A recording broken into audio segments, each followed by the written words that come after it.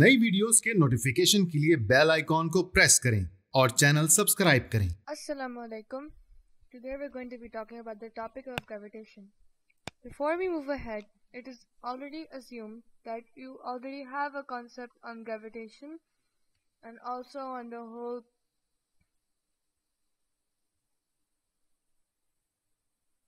concept of centripetal force. Without further ado, let's get started. So today we're going to be discussing the law of gravitation, the relationship of the law of gravitation with Newton's third law of motion, gravitational field, the mass of the earth, and finally motion of artificial satellites. The law of gravitation. The law of gravitation states that every body in the universe attracts every other body with a force that is directly proportional to the product of their masses and inversely proportional to the square of their distance between their centers.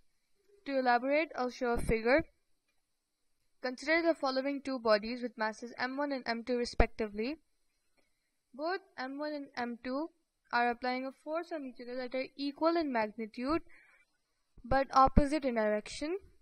The force F is directly proportional to the product of their masses, which means F is directly proportional to m1 into m2, and F is inversely proportional to the square of the distance between the two centers of the object, so F is inversely proportional to d square.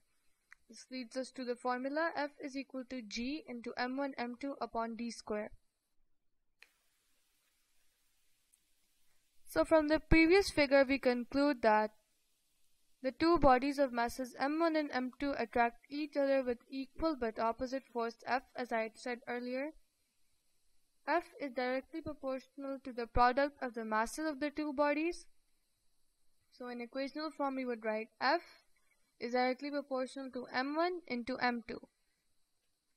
F is inversely proportional to the square of the distance between the two bodies. So F is inversely proportional to 1 upon d square. This leads us to the formula F is equal to g m1 into m2 upon d square.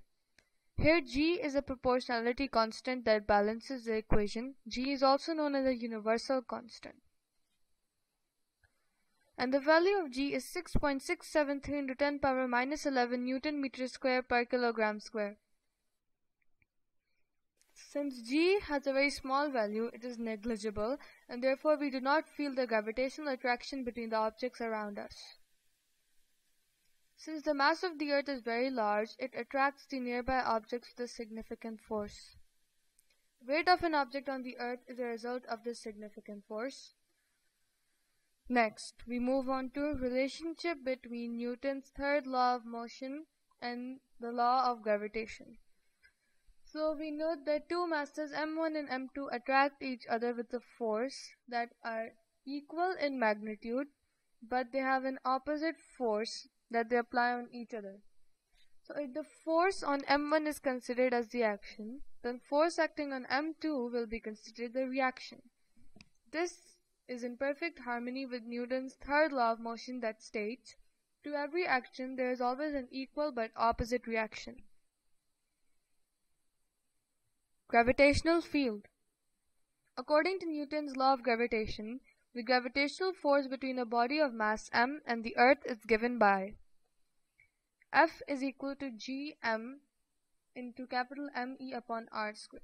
This is exactly like the equation F is equal to g into m1 m2 upon d square except m1 and m2 except this equation 5.2 talks about the force that involves the mass of the earth.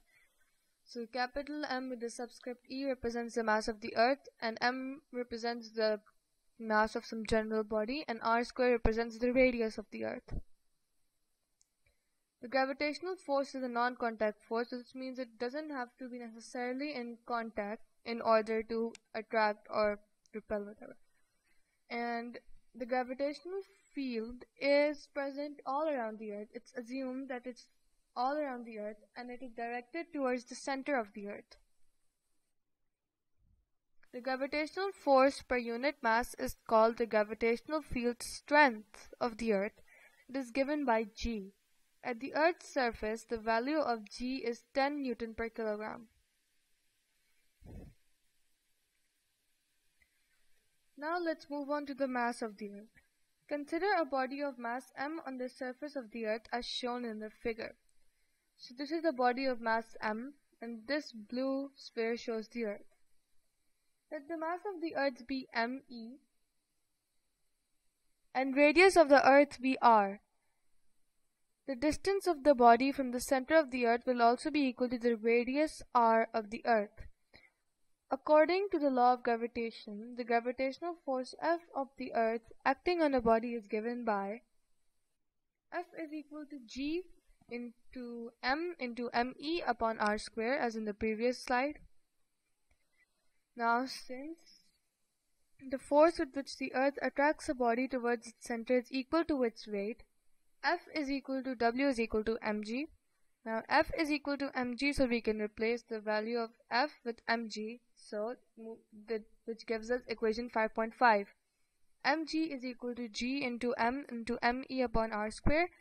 The small m's are cancelled. That gives us g is equal to g into me upon r square, which finally gives us me is equal to r square into small g upon capital G.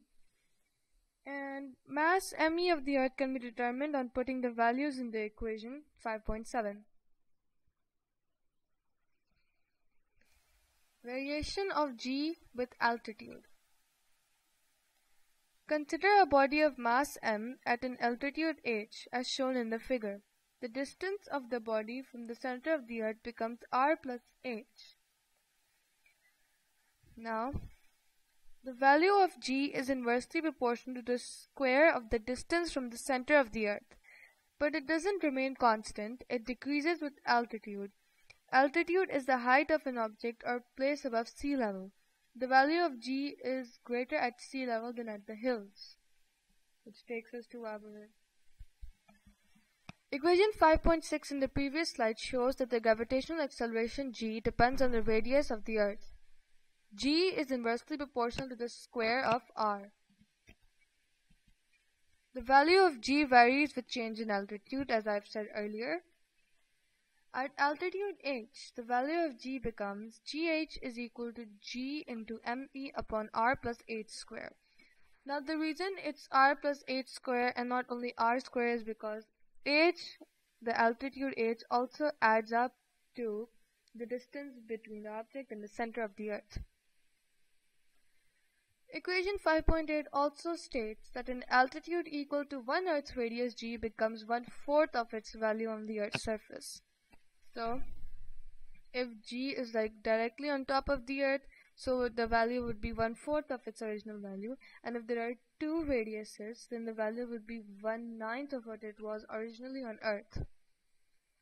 Now we move on to the final topic, motion of artificial satellites.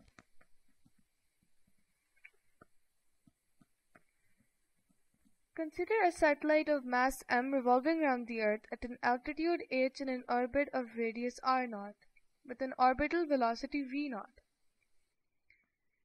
The necessary centripetal force required is given by the equation F0 is equal to mv0 square upon r0. Now, like what is a satellite? A satellite requires centripetal force that keeps it to move around the Earth. The gravitational force of attraction between a satellite and the Earth provides the necessary centripetal force. Okay. Now the force is provided by a gravitational force of attraction between the Earth and the satellite and is equal to the weight of the satellite W prime mgh. Thus, F naught is equal to W prime is equal to mgh. Therefore, mv naught square upon r naught is equal to equation 5.9. Then we further go into v naught which is the orbital velocity. It would be equal to gh bracket r plus h bracket closed 1 by 2 whole square. Then we get v naught is equal to g into r 1 by 2 whole square. And that concludes today's topic. I hope you understood it. Thank you, Allah Hafiz. अपनी सलाहियतों को दुनिया के सामने उजागर करें। अतफाल नामा की mobile app download करें और अपनी वीडियो बनाकर हमें भेज दें। हम आपकी वीडियो को दुनिया के सामने लेकर आएँगे।